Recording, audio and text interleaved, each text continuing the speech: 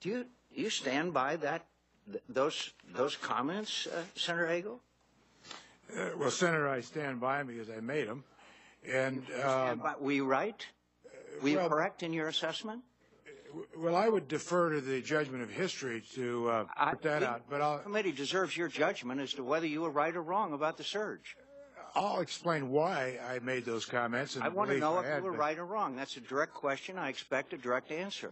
The, surge uh, assisted uh, in the objective, but, but if we review the record a little bit. Will you please answer the question? Were you correct or incorrect when you said that the surge would be the most dangerous foreign policy blunder in this country since Vietnam? Were you correct or incorrect? Yes or no? My reference to the Are you going surge to answer being the the most question, Senator dangerous. Hagel? The question is, were you right or wrong? That's a pretty straightforward question. Well, I I- would, like to answer whether you're right or wrong, and then you are free to elaborate. well, I'm not going to uh, give you a, a yes or no uh, answer Well, on a let the lot of record things show that you today. refused to answer that question. Now, please go ahead. Well, uh, if you uh, would like me to explain um, why. Oh, I actually would like an answer. Yes or no? Well, I'm not going to give you a yes or no. I think it's far more complicated than that. As I've already said, my answer is I'll defer that judgment to history. Uh, as to uh, the comment I made about the most dangerous foreign policy decision since Vietnam was about uh, not just the surge, but the overall uh, war of choice going into Iraq.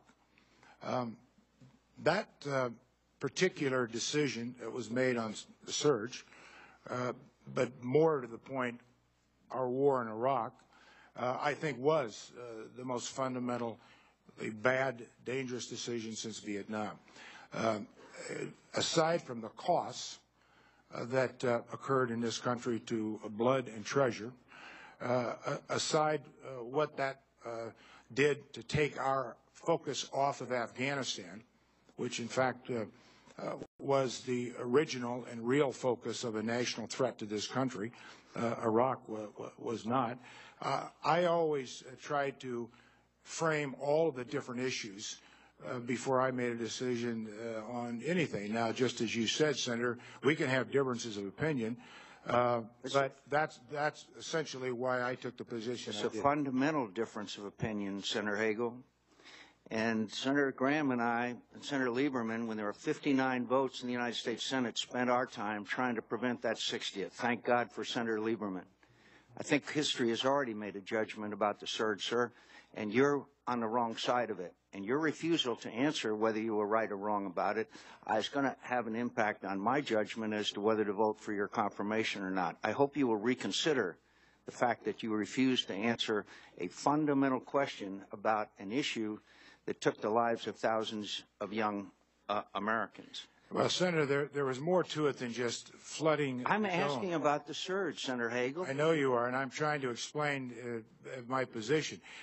The beginning of the surge also factored in what General Allen had put into place in Anbar province, the Sunni awakening. We put over, as you know, 100,000 young Senator Sunnis Hagel, I'm very aware of the history of the surge and the Anbar awakening, and I also am aware that any a casual observer will know that the surge was the fundamental factor led by two great leaders, General Petraeus and Ambassador. Well, I don't know if, if that would have been required and cost us over a thousand American lives and, and thousands of You- wounded. So you don't know if the surge would have been required. Okay.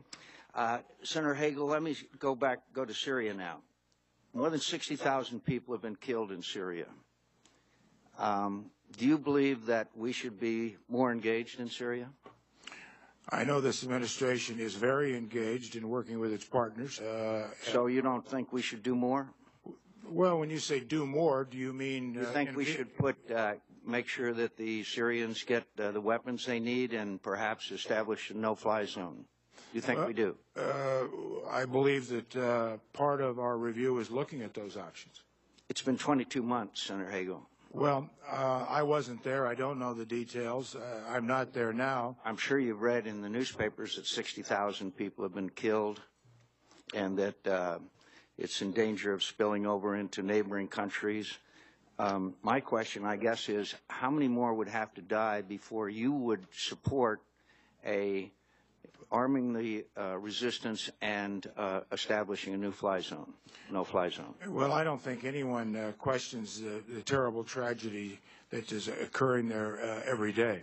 It's a matter of how best do we work our way through this so that we uh, can stop it to, to begin with, uh, and then and then what comes next. I think Did the you president's been disagree pretty with clear on this. Did you disagree with President Obama on his decision for the surge in Afghanistan? I didn't think that uh, we we should get ourselves into. Uh, first of all, I had no original position as far as no formal position. Well, you were but I didn't think you were we were. quoted in August 29, 2011, saying, "I disagreed with President Obama and his decision to surge in Afghanistan." That was uh, my personal opinion. Yes. I thank you, Mr. Chairman. Thank you.